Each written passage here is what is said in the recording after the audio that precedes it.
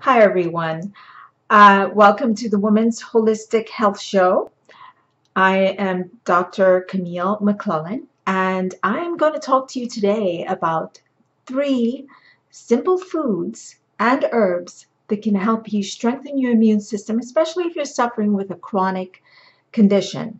And when we talk about the immune system, it's really an area or a part of your body, it's usually a system that can help you fight an attack. Okay, so it's like soldiers coming to your rescue or coming to your body's rescue to help you defend any, you know, organisms or foreign organisms entering into your body basically and this could be bacteria it could be viruses it could be parasites on so on there are many different types of organisms or microorganisms that can actually enter the body and eventually, you know, break it down.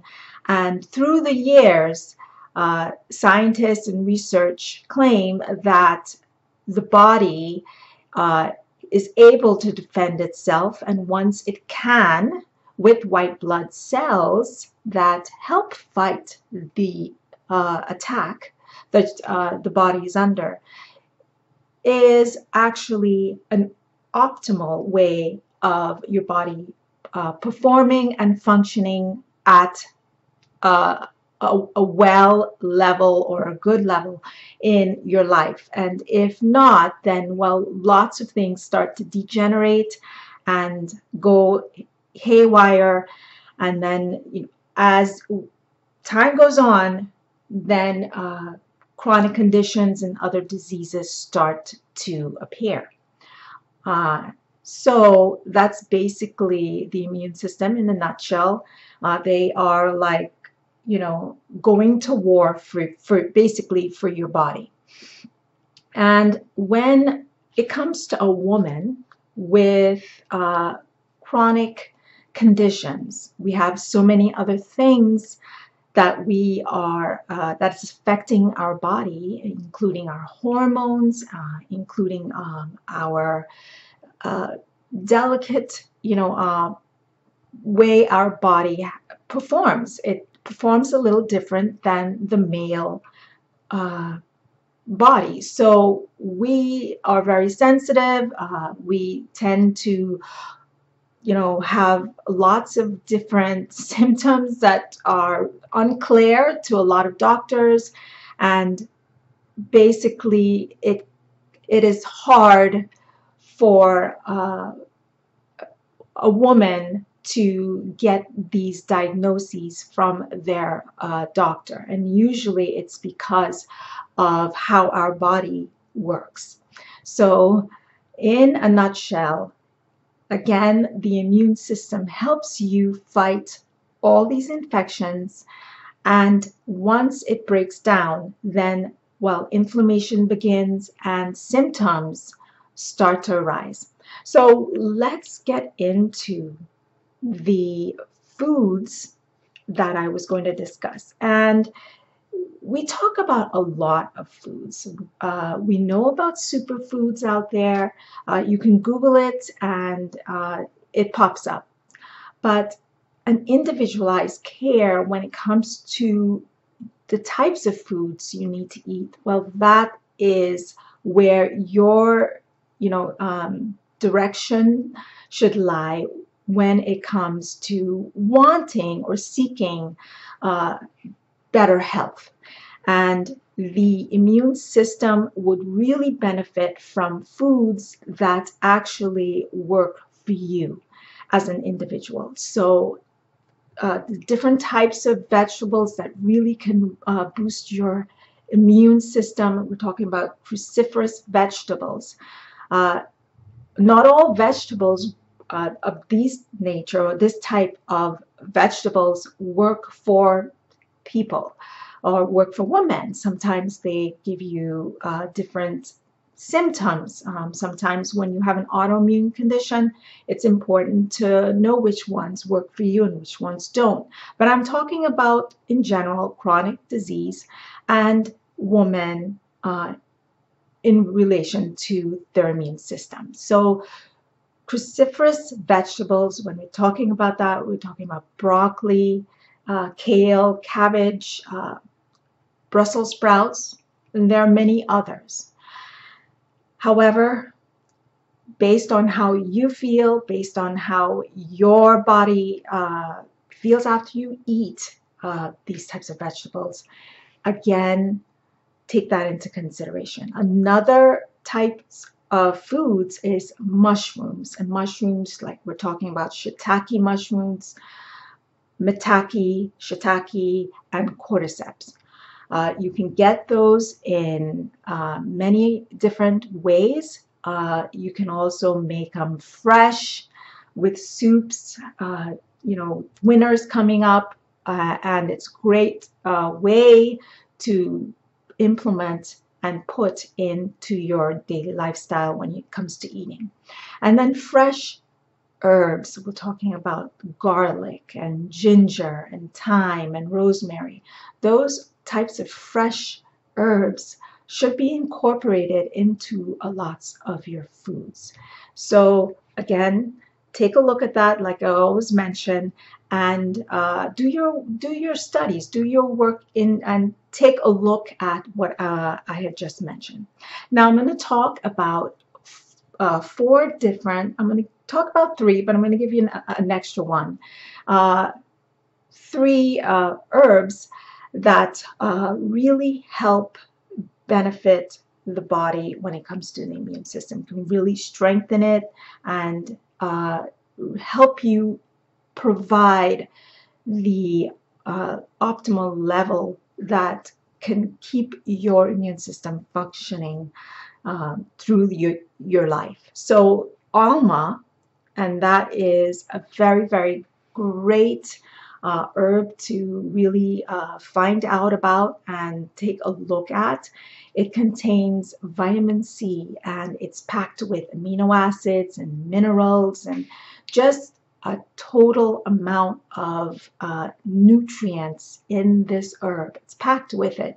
it can help fight you know, various infections. And um, in the world of Ayurveda, it's often used uh, in many, many different ways.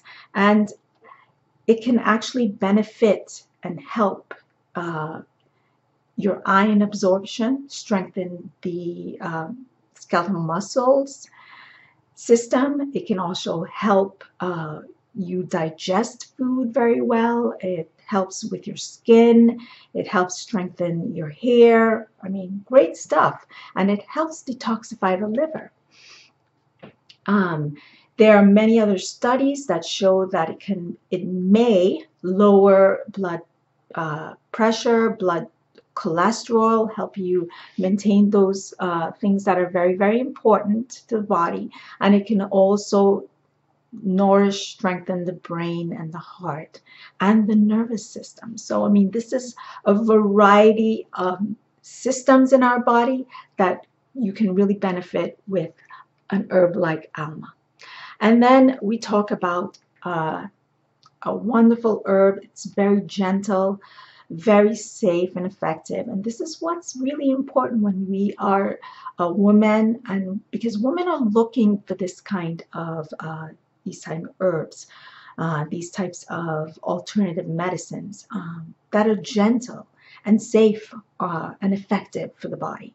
So when we talk about another herb that really can um, help strengthen the immune system, we're talking about ashwagandha. And ashwagandha is a very uh, gentle herb. It's an adaptogen that actually enhances the immune system and supports it and it supports other parts of the body, including the brain. Uh, it helps with memory, helps with concentration. And the great thing about this herb is that it is a stress uh, reliever. It is an anti-stress, uh, it contains anti-stress properties that can actually help uh, support the hormone cortisol that is uh, released into the bloodstream and it can actually uh, improve uh, inflammation in the body. It's also known, and research shows that um, it could be an anti um, it has anti-carcinogenic properties and it's an antioxidant as well. It can also uh, help with mood stability and it can improve vitality and your energy. So this is a great herb to also uh, look into to actually uh, optimize your immune system. And then we're going to talk about another one called astragalus. Um, astragalus, that's the name of it, astragalus, is uh, a wonderful herb as well. And it is an herb that can actually strengthen the cardiovascular system. It can actually help with wound healing. And it is research actually shows that it is uh, can benefit those that are having side effects with chemotherapy. It can also uh, improve the, the uh, menstrual system. Um, it can help with liver function and uh, strengthen the the areas of uh, the hearing and the vision. And what's great about it is that research also shows that uh, astragalus can help uh, improve the hemoglobin A1C in diabetics. So this is another herb that you can ask your doctor or your physician or your health care provider uh, about and uh, they can actually give you some really good uh, tips on how to supplement it with your diet and uh, with your lifestyle. So one of the um, great ways to support the body is through foods. I always talk about this with my clients with my homeopathic patients that it's very, very important to uh, focus on foods because foods are the, the first, uh, you know, way that we should be looking at, especially reducing a lot of the sugar content in your uh, body or in the foods that you eat to help reduce a lot of the inflammation. Studies show that uh, just doing that alone can actually reverse a lot of uh, what's going on in the body, including inflammation. So that is a good uh, tip to know and understand that foods should be your go-to uh, when it comes to overcoming a lot of your symptoms or a lot of your daily symptoms okay? Especially if you're suffering with an autoimmune or any type of other chronic condition.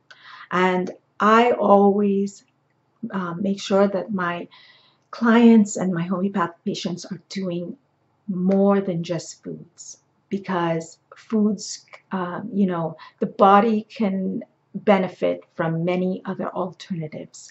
And this includes homeopathics, uh, and, and many other alternative uh, therapies out there. So I just wanted to um, just go ahead and talk about uh, the uh, herbs that I had mentioned before. This is uh, Alma. And another great herb is ashwagandha and a third is astragalus.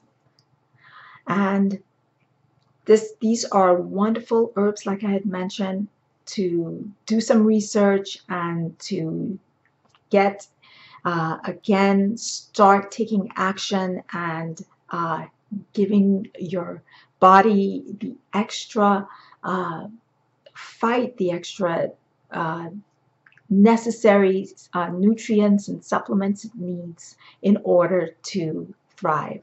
So thanks so much for listening and I'll talk to you guys next time. Bye now.